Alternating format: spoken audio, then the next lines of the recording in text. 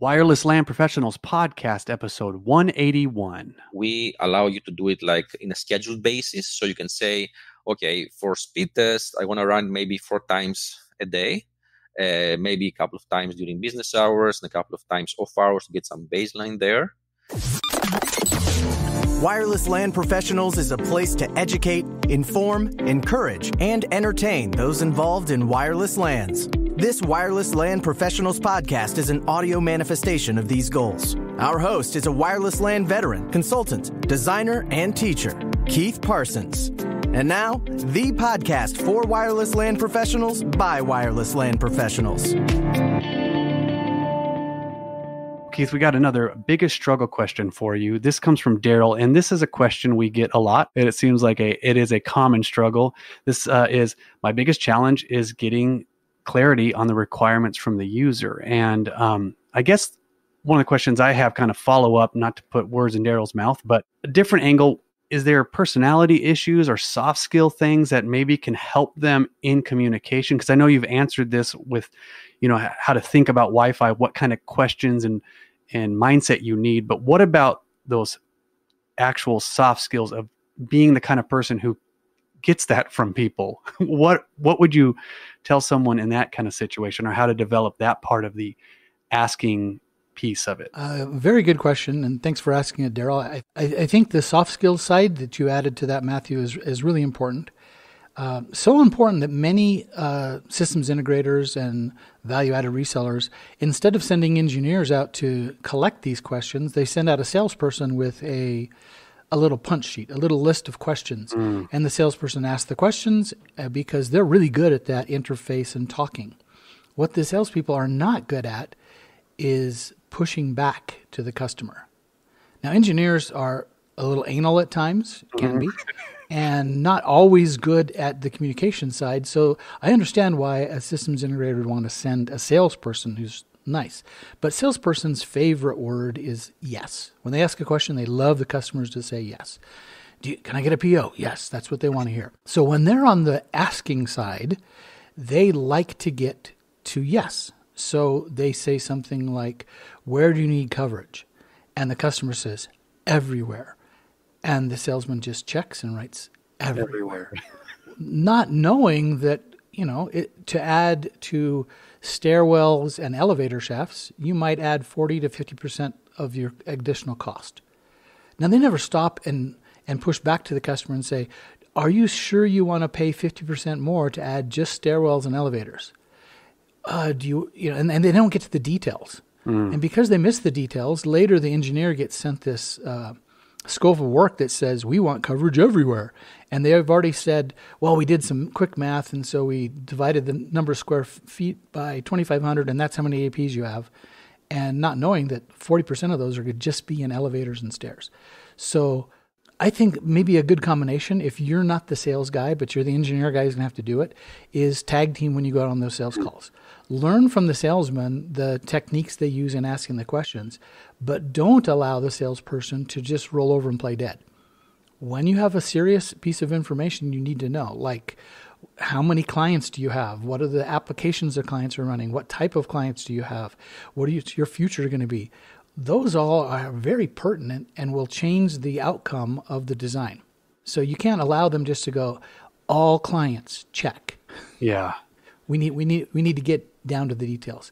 So maybe piggyback with the salesperson, uh, or give you know if you have a checklist that it, it means it looks like you're working for something organized that you're not just you know coming off the top of your head. I think you should do this, and you're saying, do you have you know have have a process, and the customers will probably like that process a little better.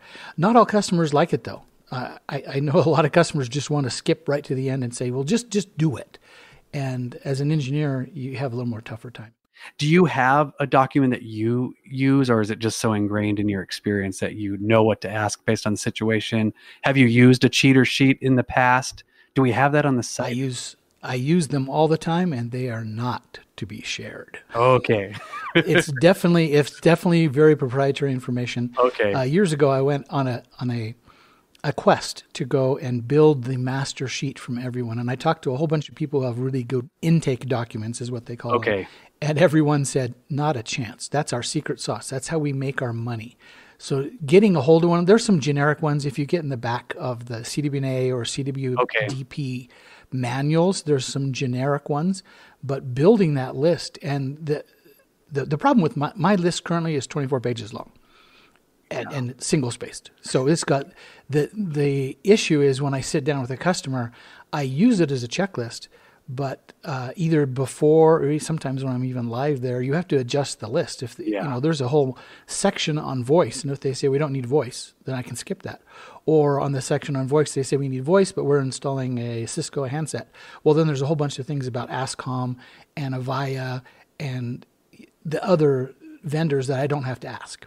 So yes, I have a very very detailed list, but then the the use of it is paring down to ask only the questions that are important for that customer. So it sounds like a, a good goal for maybe Daryl or anyone in the situation is spend time, maybe you and the sales team, and create the intake document that makes sense for both parties. And and just make sure that you don't as an engineer, if you just let's just back up for a second. If you're yeah. an engineer and you went to a customer and you were a structural engineer, you're building, you're trying to design the beams that go over and hold the roof up. If you went in and you ask a simple question like, uh, "How many floors is the building?" and they went, "Oh no, just design each floor. We don't know if it's going to be a five-story building or a seven-story building." It's really important.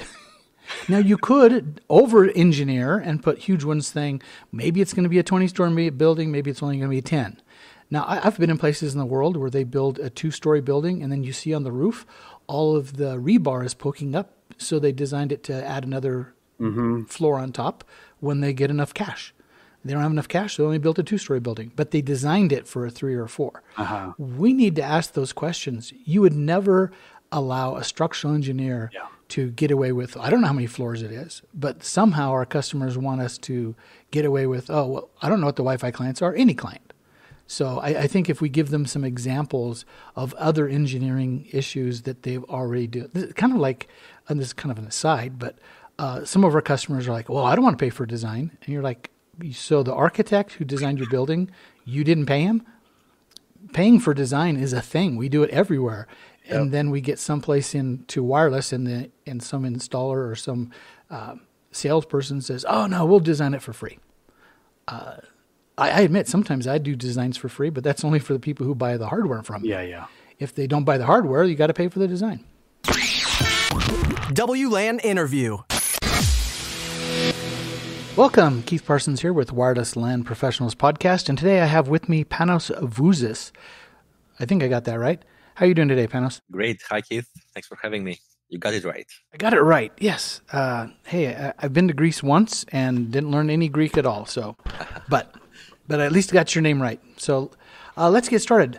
You're with NetBeez. NetBeez has been in the in the I don't even know what you put the category in babysitting and managing and monitoring Wi-Fi for a long time, uh, and you have some new stuff out. So I thought we'd get you uh, on the podcast and talk a little bit about your uh, 1.5 release and uh, and hear hear about all the new stuff you've got going in NetBeez and and also I wanted to congratulate you on some of the things you've been posting lately that I liked. So are you good with that? Great, of course. Let's get going.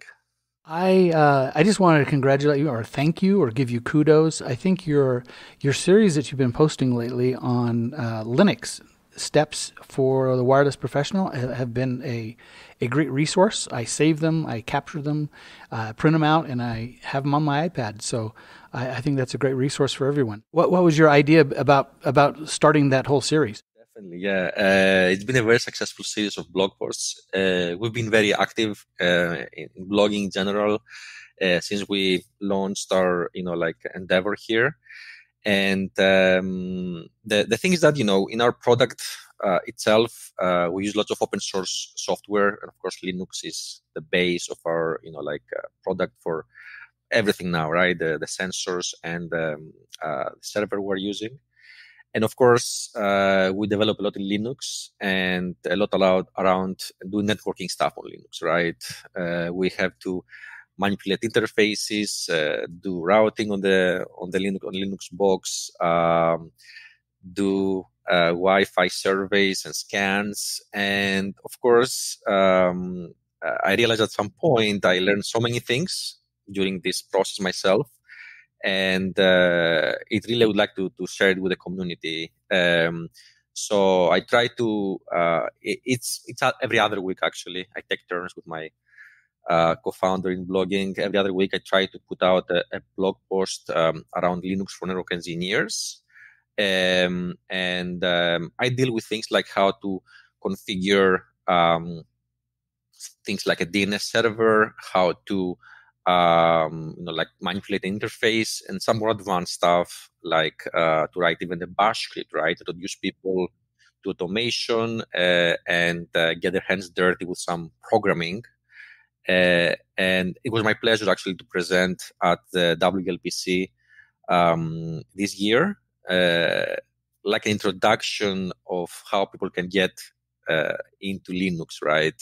Uh, of course, I wasn't expecting 20 minutes to teach Linux to anybody, but I just want to give some pointers and people can follow up on our blog post and learn uh, gradually uh, things around Linux networking and Wi-Fi as well. We'll have links over to your uh, blog from uh, the podcast, but uh, highly recommend anyone who wants to learn a little bit or even just uh, play with it go over to the blog that Panos has done, um, and and you can you can you know start easy and learn as much as you want about how uh, Linux works.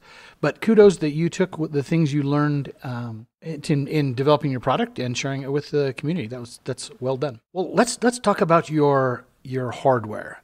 You had hardware running on like a little um, Raspberry Pi for a long time, but you now have some uh, new versions.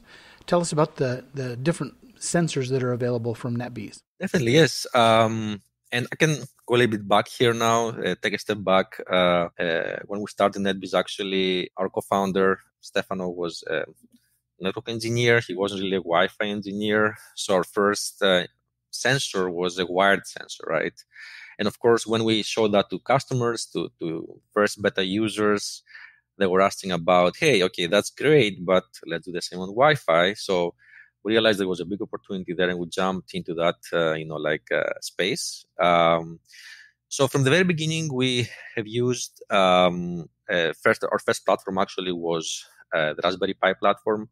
Um, many people are familiar with that. Um, very versatile and, and, low cost actually right? Um, hardware to that runs linux so that's where this comes in right? So it's a linux box that you can do so many different things with, right? Um, and you know that very well. The community has endorsed and they used a lot the, the, the NanoPi, um, which is a similar platform. Um, so we use the Raspberry Pi uh, as uh, a sensor um, for uh, for Wi-Fi. We use uh, some extensions and some other hardware to make it um, 802.11 AC, two by two, um, and uh, but also uh, we haven't forgotten our I guess our roots. We have both wired and Wi-Fi sensors. Uh, so for Wi-Fi sensors, we use another platform um, which uh, is also off the shelf, uh, runs Linux, um, and um, the, actually it's an interesting platform because it uh, it's an x86 single board computer. Um, and I'm mentioning this because most of these, uh, for example, the NanoPi or the Raspberry Pi, are ARM-based computers.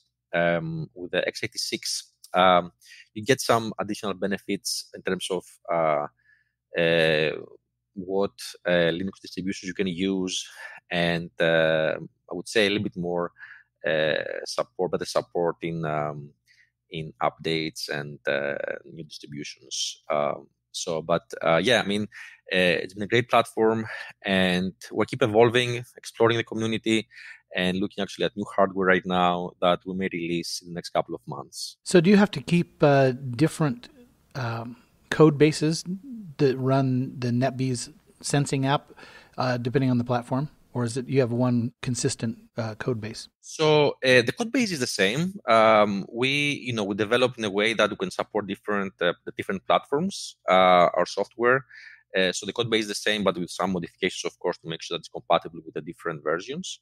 Um, however, we also have um, uh, just an example, right? Uh, we also have uh, out like a Debian package that customers or people that want to try our product, they can use and install it even on their own hardware, right? If they have, um, let's say, um, an Ubuntu server or uh, their own Raspberry Pi, they can just download our Debian package. And of course, that supports the different architectures, um, ARM, 64, 32, uh, AMD, like you know, X- x86, I would say, uh, 64 bits, right? Uh, so we make all those available, and um, and for our production, of course, we prepackage everything, but also we have you know the option for users to use our open source uh, and free um, uh, software if they want to. So, if you're uh, open source and you allow that free software, what's your business model? How does NetBeez, uh, how, you know, how do you how do you earn a living there?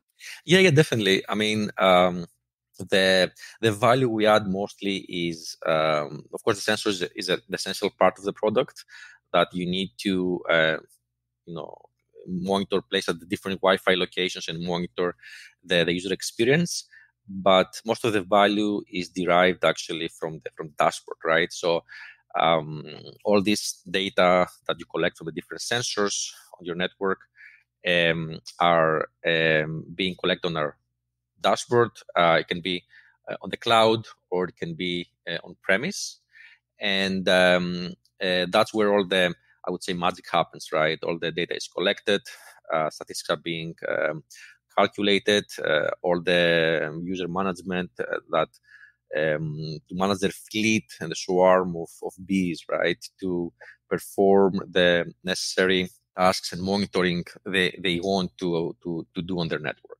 Okay, you just got me now. This is the I, am totally admitting this. This is the first time I got bees when you said swarm. cool. I, I'm I'm really slow. I didn't see any any little bee logos on your webpage or anything, so I've I've just thought it was a, a bees. Okay, got you got me now. So if you were a end customer and you wanted to put these sensors around in your network, what's the kind of pricing model that you'd be looking at, both the cost of the sensor but also the cost of the dashboard? Right. So um, the, the, pricing is based on the number of of, uh, of sensors you get.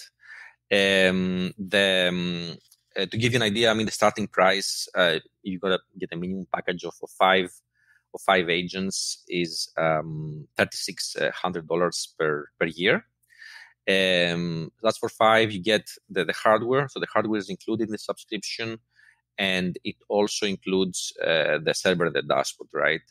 Um, so um, now, of course, there's of course um, if you go to larger number of, of agents, and most of our customers that are you know like medium to large corporations that's when the need for NetBeez comes in, right? When they have multiple locations, dozens or even hundreds locations that they have remote workers, they don't have local IT to help them support the troubleshoot Wi-Fi and wired networks, right? Um, that's when you know you can uh, install dozens or hundreds of these uh, devices, the sensors, to uh, get a f- like complete perspective of your Wi-Fi network. Um, you can do monitoring, alerting, baselining, and um, be able to be on top of things uh, before your users complain. Um, so, of course, there the pricing is, is different uh, and it scales based on the number of, of agents in a way that makes it uh, affordable and without breaking the bank, right?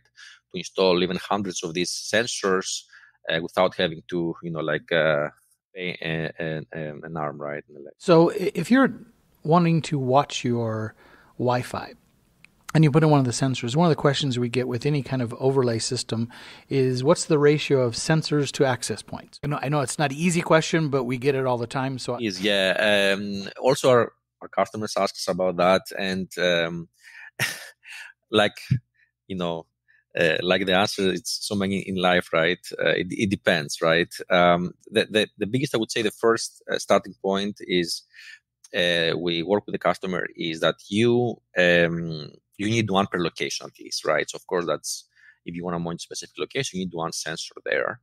Um, now the um, we have again. Let me go back a little bit. Um, on the wired side, usually you want to have the perspective of both, right? Uh, if you want to make sure that a problem comes on the Wi-Fi side, on the wire side, if it's a backhaul, backhaul problem, it's advisable to have also a wired agent at its, at its location. So one wired agent at the, at the core router is probably enough in that case. Uh, some people want to go more fine, more granular. They go one per IDF, for example, right? But uh, depends, you know, how granular you want to be, right? Now on the wireless side, things are a little bit more, of course, uh, vague. We start with the um, with the um, advice to to think about your uh, high concentration areas first and the high value areas. So the boardroom, the C-suite, right? Uh, a big auditorium, um, probably are locations where you want to install at least one agent uh, to make sure that you know you you cover a big chunk of your users so that's one thing and then the other thing is that problematic areas so if you know you have specific locations where you might have interference you might have um, uh, many complaints from users and you're going to keep an eye on them then uh, that's another location where you can uh, install uh, an agent there to make sure that uh, you have that perspective on your dashboard. Um, so these are, I would say, the, the, general high-level rule of thumbs that we um, go with with our customers when we do our solution planning. Um, and uh, and then, of course, um, the more granular you want to go, um, it, it's easy. Uh, the solution is scalable. the backend is scalable. You can add agents depending on uh, uh, how important your infrastructure is, uh, and of course uh, how um, how well you want to monitor your network. So if I've uh, got a NetBeez solution in, let's say, a hospital, and I, uh, you know, take my MDF as one. Each of my IDFs have one from the wired side. I spread them out, maybe one every 10 APs, just so I have a, a, a tendency there. The reporting that comes off of that, how how did you get actionable items from there? So uh, you're not going to be able to tell if I have coverage, but you'll be able to tell if systems go down. So, what's the actionable items that come off your reporting? So, the data we collect give you the ability to uh, monitor user experience, right? So, you, um, of course, again, as a hospital, let's say, um, you have certain specific applications, let's say, uh, and resources that all your nurses, um, doctors, but also also guests want to use, right? The guests want to use the internet and uh, all the uh, entertaining stuff and patients, and then your employees want to use all the internal um, application resources, right? Even voice VoIP, right, over is is important um, an important resource on, on hospitals. Um, so you're gonna uh, make sure that your sensors uh, simulate user experience and um, monitor and check continuously the same resource, the same applications that your uh, users need to use, and uh, make sure that um, you put, for example, of course, how where how quickly you want to get notified when something goes wrong, right? Of course, some intermittent issues may be acceptable in some locations or some applications, but some may not be. And um, the simplest thing we can do, of course, is to send you an alert when you, let's say, you have a performance degradation. If your response time to specific critical application um, increased by a certain threshold, let's say goes above two seconds, let's say, right, or uh, drops completely, right, uh, then uh, the simplest thing you can do is you can receive an alert, notify your um, your uh, NOC center, your network engineers, uh, through many different ways actually right? It can be email is the simplest um, you can integrate with other things like pagerduty um, splunk or even slack right? So now slack is everywhere. Uh, if your NOC teams on slack you can send your alerts on slack and you can uh, even um, get them there so that the whole team can see them and discuss around them. And going a little bit more advanced apart from a simple alert, we have what we call incidents, where you can set um, certain thresholds in the sense that, um, let's say, if I lose uh, 80% of my applications, right, or even 10% of my applications are not responding or have low performance, then I want to receive an alert. So that filters down a little bit, I would say, the number of notifications you may get of course, we know everybody knows about the alert fatigue. everybody has now a number of monitoring tools in their arsenal and they're receiving alerts from everywhere. So the, the incidents we have, the incidents mechanism allows you to filter down a little bit the um, alerts you get and uh, customize them to your needs actually. Well, let's let's um, move on more to the, the business side of NetBeez. Uh, the technical side kind of makes sense. People understand uh, you're, you're running some level of synthetic testing to test VoIP or speed test or iPerf, and then you can report on them. If you were uh, going into a new customer, and since we have uh, thousands of people are downloading these podcasts, you have some potential customers to talk to. How would you sell uh, a NetBeez solution compared to your competitors? Competitors being no sensors, just using what's inside your controller, versus uh, you know your competitors who have sensor networks, uh, Wyebot, Cape, or Seven Signal kind of thing. How do you go about saying why NetBeez is better? Give me your sales pitch. The first thing you have to think about is um, we give you the ability to cover both your wired and wireless network. Uh, so we have both types of sensors, and not only that, we have uh, virtual sensors. Um, now we just released actually our um, Docker sensor and also a cloud sensor. So especially with the Docker sensor, what you can do right now, of course, you know Docker is exploding. You can install quite easily actually a, a sensor on on a user's laptop, right? Um, of course, we have the hardware piece, but sometimes when you get that when you get that perspective per user experience uh, with a Docker sensor, you can um, get somebody's laptop um, and um, spin up a sensor, right? Just just a, a, technical question to insert there. If I'm running Docker, let's say I'm on a MacBook, uh, is it using the MacBook's internal Wi-Fi and reporting back what it sees? Uh, so for for the Docker now we just released it. It doesn't uh, capture the the Wi-Fi metrics. It doesn't capture things like like we do with the hardware sensors, like uh, signal strength or um, you know link quality. But it gives you the user experience in the sense that you can do the application verification. You can do, um, for example, uh, you can do a speed test, right, to see what performance you get, right. Uh, in a future release, we'll be able to capture all these metrics as well from the Docker container and present you the Wi-Fi um, visibility of what you see on your Mac or your Windows uh, machine. Okay, uh, yeah. So continue. Yeah. So we have this this complete picture where you can install these different sensors on every edge of your network, right? Wired, uh, wireless, end user device, uh, cloud, or, or virtual. Um, actually right now in the we're going to Cisco Live uh, next month, and we're having a joint session where we're also talking about how to install an agent on the Cat 9000 Cisco um, uh, switch and uh, you know infrastructure now, and the whole DNA thing they're uh, promoting.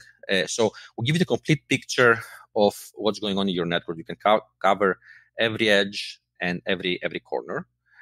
Now the solution we have for the server specifically, uh, we offer both an on-premise and a cloud dashboard. Uh, we still have many customers that are very um, security um, aware, right, and they have very critical applications, um, and um, uh, they most of them prefer to go with the on-prem solution because they still, you know, are not fully cloud. I would say um, uh, uh, cloud enabled, right? Uh, they have still restrictions because of compliance issues and all these things. And uh, so with that, with all that infrastructure we we support, we um, we have the ability to give you a complete picture, and also having this software version of the agent will give you will give you the ability to scale that to hundreds or even you know like um, even thousands of agents if, if needed, right? Um, in a software basis, which makes the solution affordable and scalable from a pricing perspective. Uh, not not hardware is not necessarily always um, needed if you want to go if you can can solve your problem with a software agent, let's say. Um, so one of, one of the questions is: Is there a way to um, set up the synthetic testing timing? If we're running iPerfs or VoIP testing, uh, we don't want to load up the network excessively, but we'd like to know how it's going what's the the control you have over the timing of those synthetic tests? Uh, yeah, especially with the test you just mentioned, maybe iPerf and speed test, especially right where you really stress your network. You want to be a little bit careful. You want to run an iPerf or a, or a speed test uh, every minute, right, on a network, and then defeat the purpose of monitoring. Uh, um, so yes, uh, so we give you um, first of all, we make sure we have an, a mechanism that uh, we make sure that you don't run more than one of these especially iPerfs speed tests and that are high uh, demanding tests uh, per per agent, right? So we have a blocking mechanism that you can run only one per device at any given time, right? So you cannot really even accidentally flood your network and, and break things. Um, and then um, we um, we allow you to do it like in a scheduled basis. So you can say, okay, for speed test, I want to run maybe four times a day, uh, maybe a couple of times during business hours and a couple of times off hours to get some baseline there. Um, and um, while with the other tests, the uh, like latency test, uh, HTTP test, or DNS test, uh, you can run them much more often. Actually, most of our customers run them like every few seconds or a, or a minute. Uh, because okay, doing like um, a DNS uh, query, it doesn't really shouldn't be like uh, an issue right on your network. Shouldn't put any stress on it. Those are okay to run them quite often actually, but yeah, I mean as you mentioned, um, we uh, have mechanisms that give you the ability to schedule them in a like I would say a spaced, time spaced um, fashion, and also we don't allow you to break your network accidentally. well, that that's nice that you're being protective. Um, on on configuring the Wi-Fi side, uh, obviously the the sensors need to connect and connect up. Do you support uh, WPA one, two, three, uh, and how do you go about choosing what EAP methods so that your clients can act, your sensors can act like our clients? the um, all the agents are managed from the dashboard so the configuration of the credentials for the agents are managed from from the dashboard so at least the first time you connect them a wi-fi sensor you have to connect it to um, to a drop so it can connect to the dashboard right? Then from there you can plug you can connect on it and configure its credentials. Yeah you can support .1x of course and um, all the different methods that are you know available are that are you know are on our dashboard. So you can choose them from a menu, uh, upload your credentials, uh, keys, certificates, and then everything is uh, automatically, uh, you know, like assigned to the agent so they can connect to the right network. Um, so um, that's how you configure them. Um, and we also now recently, actually in version 1.5, we introduced the option to multiple to monitor multiple SIDs. Uh, what that means is that when you have an agent, of course, as a client on your network, um, and uh, you want to mo- have more than one SSIDs, at least you know right now you're to have two or three in any enterprises. Enterprise, you're to have uh, you know, guest network and then your internal corporate Wi-Fi networks. We give you the ability to do what we call SID hopping. So you're able to configure different profiles for each uh, SSID. Let's say if you have an, an open guest um, network, then you can configure one profile according to that. If you have your internal WPA2, etc. Um, profiles, you can configure them again, and then you can tell the agent, "Hey, I want you to monitor for five minutes my guest network, another five my guest network, another five minutes my uh, internal corporate network, for example." Uh, so you can do all this from the dashboard, of course, and uh, without having to touch the agents, uh, obviously. Uh, one of the, you mentioned guest network. Uh, do you have the ability for your sensors to join a guest network with a captive portal and get past the captive portal? Right now, we don't have this ability. You have to um, whitelist your sensors from uh, from your controller, let's say. Uh, but it's something that is coming up in our next uh, next couple of releases, actually. Well, Panos, I appreciate your time today, sharing us a little bit about uh, where NetBeez was and where it's going, and and what you're doing with it today. Um, if someone wants to get a hold of you or NetBeez, where would they track you down? Yeah, thank you for having me, Keith. Uh, yeah, so uh, you can find us at uh, netbeez.net. Um, so uh, there you can learn about our product. Um, you can also, uh, as Keith mentioned, we have a, a very active um, blog there. Uh, we talk about um, Wi-Fi issues. We try to share the what we learn at work and um, we're also going to Cisco Live next month. Uh, if any uh, folks are there, we're going to be at booth 3234. Um, come stop by, say hi, and, and chat.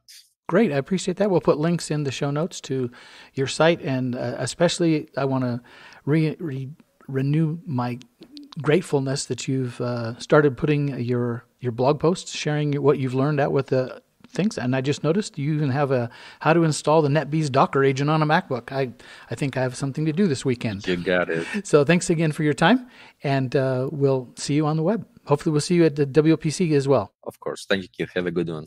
I'll be there. 10 Talks. How's everybody doing?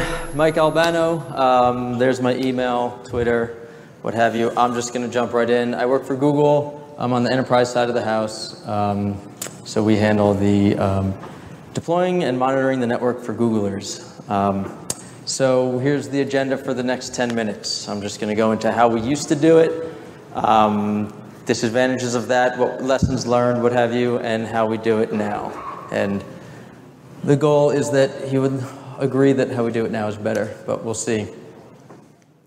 All right, so very loose dress code at Google. Uh, all you have to do is wear something, so I got away looking like this seven years ago. Um, so, yes, it was build rooms, documents with standard configurations. It was entirely CLI driven. Um, we had a lot of employees that all had access to the infrastructure uh, to do the, both the deployment and the monitoring. We were using vendor NMSs, such as Prime, AMP, to monitor the network. And um, we had a sort of host of other tooling that we used as well. Um, open source tooling, Rancid, um, Nagios, what have you. I'm sure many people in the room have experience with that stuff. Um, and it was pretty much dynamic everything. Um, no automation, we deployed a vendor. All right, so then a couple years later, um, we got rid of the documents and we started using config generators to try and come up with a little bit more predictable way of generating this configuration so that we could have, you know, the goal was obviously having the same configuration on a lot of different devices. Um, got rid of the vendor NMSs and we were starting to experiment with graphing the telemetry ourselves, the radio data, the stuff that we all need and use to monitor the network. Um, how are we doing that? The same way everybody else, SNMP, and a lot of scripts, a lot of CLI screen scraping, having, having scripts that log in, do some show commands, stick it in, in a database, um, a lot of scripts. Um, moved on to static transmit powers. We were still doing dynamic channels. Uh, the, the goal there was uh, we weren't ready to approach static channels, but we absolutely wanted to control the size of our cells since that's what we designed the network for. Um, still deployed a vendor, and still relatively little automation, just some. I mean, kind of depends. Automation is a very broad term. We were using config generators, so you could say that was automation. Um, all right, so there was a lot of problems with this. Um, it was a highly distributed network, a lot of buildings, global, blah, blah, blah scale. Um, a lot of the problems were caused by us, the humans. There's a lot of outages caused by just having such a distributed model of all of these systems, and everybody had access to it. And it wasn't, there was never any nefarious activity going on. It was just that, uh, you know, people make mistakes or they think they're helping and, and they're hurting in other ways. So, yeah, it was problematic. It was kind of the, the Wild West. Um, so, what did we want to change?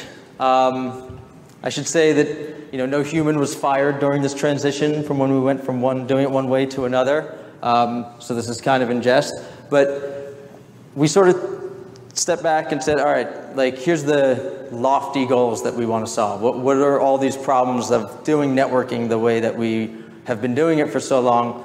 How could we do it differently? What would we fix? What, what, what do we want to tackle now? So, all right, so one, we know we needed radio data. We know we needed telemetry uh, and we needed it fast. So SNMP wasn't working. Um, you take uh, any, a, a, lot of data, like whether it's 802.11 retries, channel utilization, what have you, you aggregate that out to 15 minutes and it becomes absolutely worthless.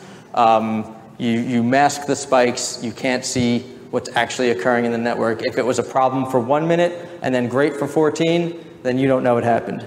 Um, so we need radio data, we need it fast. Um, we needed freedom of choice. So we wanted a multi-vendor network. We wanted this, the, the, ability to do what we had heard about, which was align a vendor to a use case, whether through uh, you know some software or hardware differentiation. We wanted the ability to choose a vendor um, based on our needs, but we couldn't do that. Not not at this scale. Uh, not without translation layers. So real quick, translation layers is basically taking a proprietary MIB or a proprietary CLI interface and then translating that to something um, neutral on the back end. But that's that those translations layers are something we had to maintain, and that was problematic.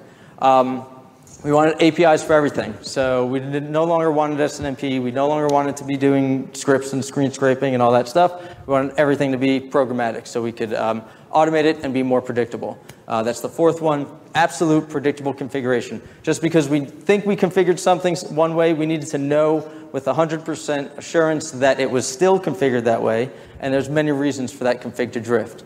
Um, so that, those were the goals.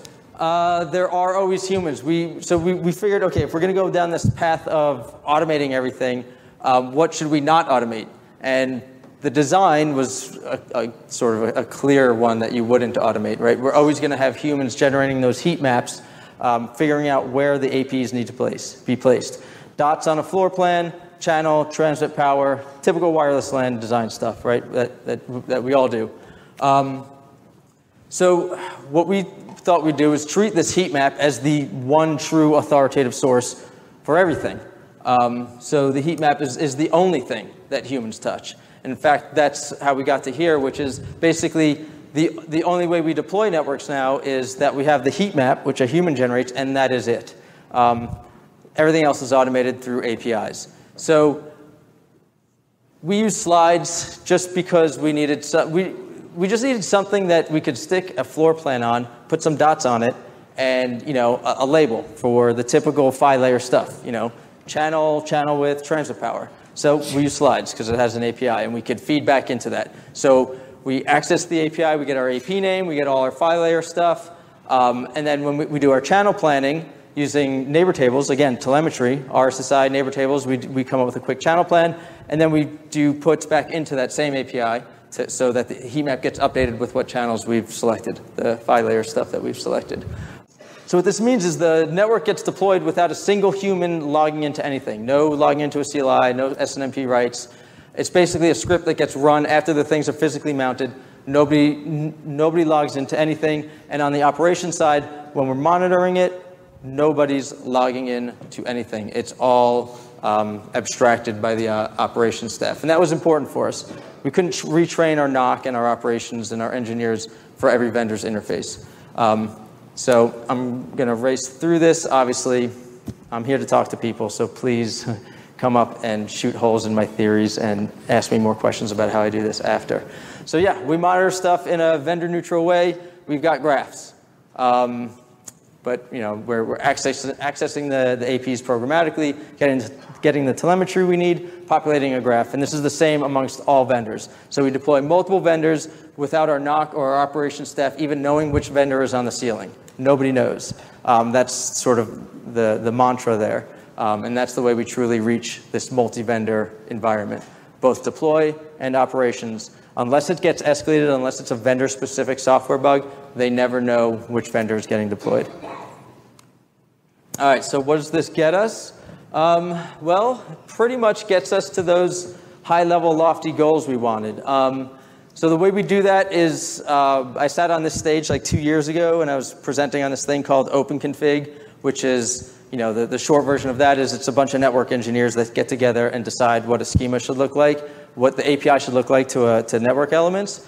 Uh, and two years ago, it was just a theory. Um, I was sort of saying, hey, do you guys think this is a good idea? Then I went and talked to a, a, bunch of people, some of them in this room, came up with these Yang models, um, which is the modeling language we use to define these APIs.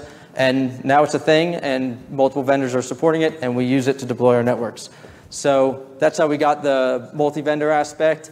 Um, and uh, you know, there's some data points there about you know how much better it is now, and it's uh, obviously a lot faster to, to deploy easier to monitor, no build rooms, no docs.